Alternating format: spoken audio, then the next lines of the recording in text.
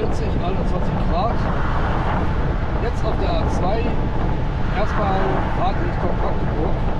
Von dort aus dann auf der A14 Richtung Leipzig.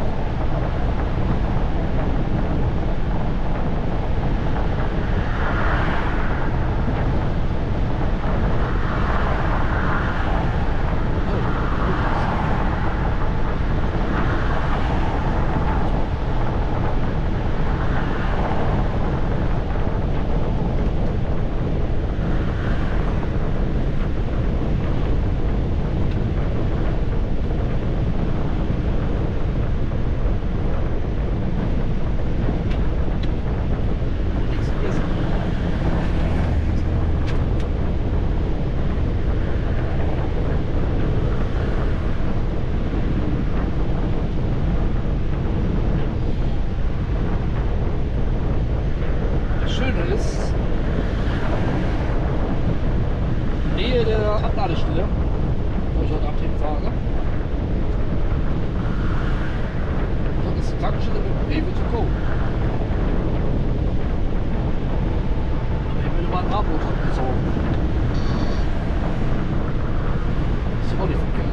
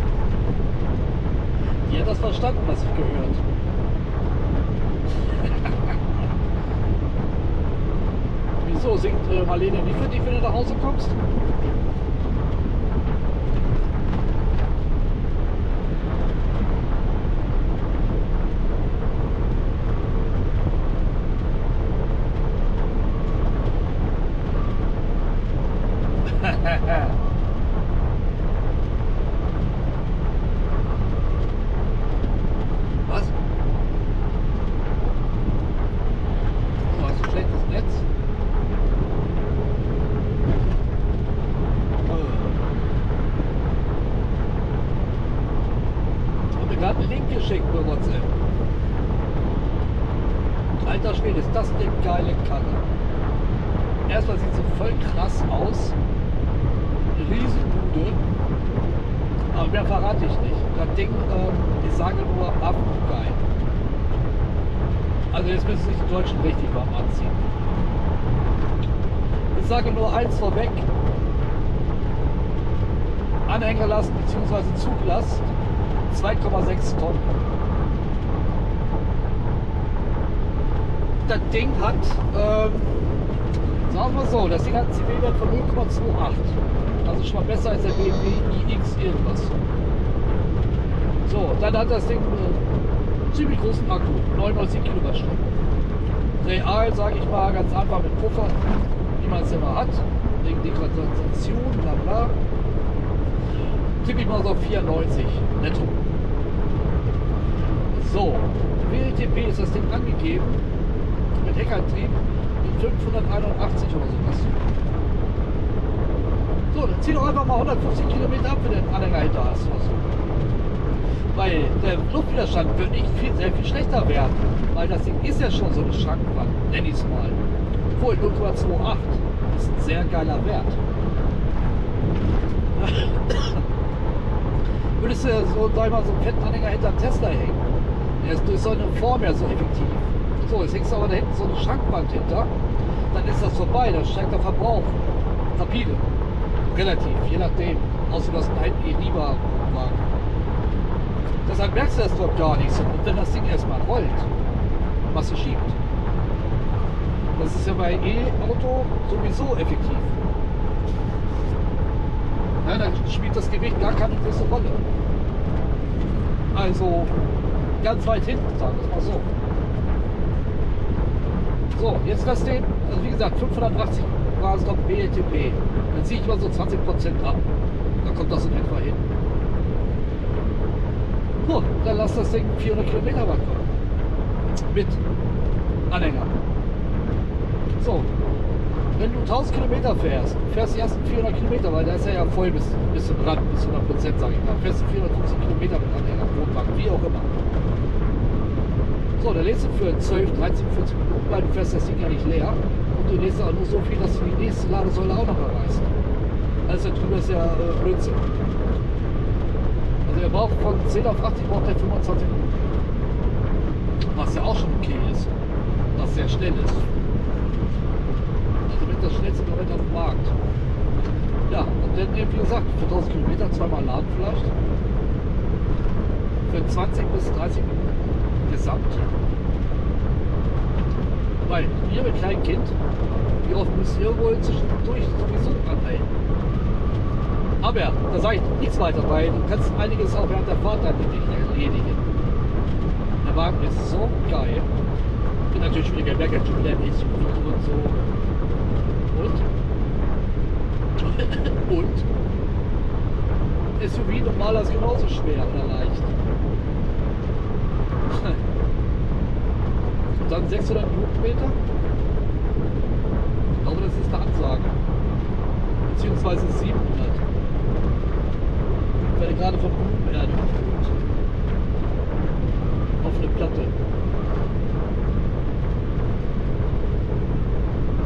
Ja, wie gesagt, ich will nicht mehr verraten, weil das Ding ist echt hammergeil.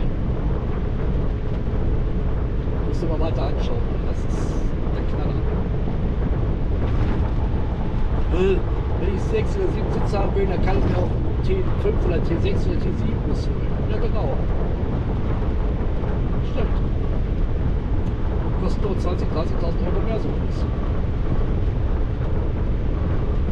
Ja. Und vor allem, wenn du mit dem Ding noch Wohnwagen ziehen würdest, dann bist du mit dem Ding auch noch autark. Weil du hast äh, ja, 230 Volt. Ne? Du abzwacken. Ist natürlich richtig geil, ne? Du fährst einfach auf den Parkplatz Raststätte und dann machst du da hinten schon was zu essen in der Packung.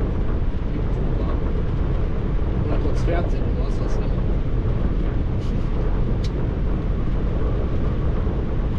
Also auf das Ding hätte ich richtig Bock, muss ich ehrlich sagen. Er sieht schon krass aus.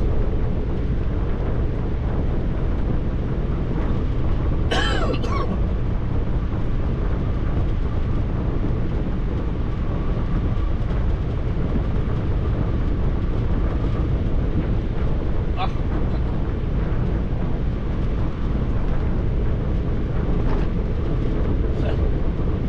ich würde erst baden und dann aufs Klo, also in der Badewanne. Ist doch ein Klo irgendwo. Und? oh Mann. Nee, aber das ist jetzt ein Auto eben, wo das Argument nicht mehr zieht, wegen äh, Wohnwagen oder Anhänger ziehen oder sowas. Und das ist heftig. Die anderen können das ja auch schon, nur die haben sehr viel kleineren Akku. Ja. Leider ist noch, steht noch kein Preis fest. Der wird auf jeden Fall weit unter dem von den anderen Wagen liegen. Tschüss, man, nichts passiert. Meld dich.